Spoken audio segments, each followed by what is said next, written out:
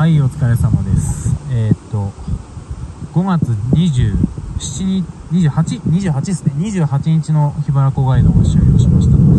ちょっと風が強くて、あの、声ちゃんと入ってるかどうかわかんないですけど、もう本当見ての通り、めちゃくちゃ風が強くて。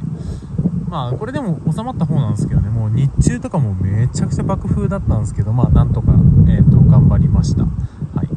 で、えー、っと、まあ、午前中はもうベイトオンリーで楽しんだ感じですね。まあ、ヴァラップスイマーですね。ヴァラップスイマー、まあ、4.2メインに、まあ、3.3も使いつつ、で、午前中はそればっかりやって楽しんで、で、まあ、午後は、えー、っと、まあちょっと、ね、どんなもんかなと思って、アフターの、第一陣のアフターとか狙いに行ったりしたんですけど、まあそれは釣れず、まあ仕方なく、まあ定番ですよね。この時期定番のネコリグの釣りやって、まあ、案の定 案の定あのヴァラップスイマー、まあ、ヴァラップスイマーねあのサイズやっぱりちっちゃいんですよね。結構釣れる魚。うん。もうヴァラップスイマーで釣れる魚っていうのがもう第2陣第3陣の魚なんであのこんなって大きなルアーですけど、まあ、全然魚は小さいでもまあいっぱい釣れて楽しめたっていう感じでまあねまあこの時期、まあ、これからですね。これから定番になるまあ水深 2m から 4m のハードボトムプラスビードのネコリングをやったらまああのラップスイマーでは釣れなかったような、えーと、いいサイズがポロポロポロっと釣れて、うん、まあでもネストなのかアフターなのか正直わからない。まあでも雰囲気的にまあアフターだと思うんですけどね,、うんまあね、ファイト中に若さに入ったりもしたし。まあ、ただね、ネストの魚も全然近くで餌食える状況があれば食っちゃうんで、まあでも今日のふあの魚の釣れた雰囲気はアフターだと思うんだけど、まあはっきりはわかんないから、まあなんとも言えないっていう感じですね。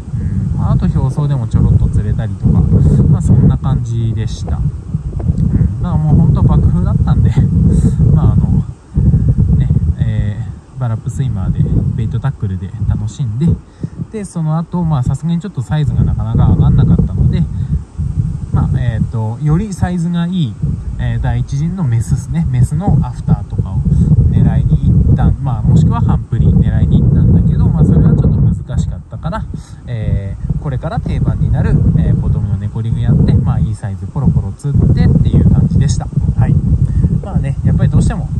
あの今本当にめちゃくちゃミッドスポーンで、ね、産卵中絶賛産卵中もしくは産卵直後もしくは産卵直前みたいな感じで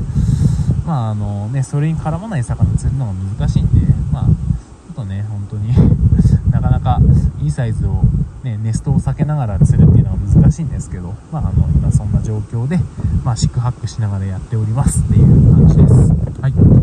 ちょっと風が強すぎてちゃんと声入ってるかどうかわかんないですけどはい、えー、そんな感じの、まあ、今日5月28の